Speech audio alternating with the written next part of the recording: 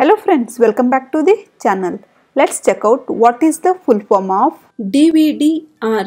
DVDR full form is Digital Video Disc Recordable. Digital Video Disc Recordable. Do you know the full form of DVD RW? DVD RW. Do you know the answer? Please comment your answer in below comment section.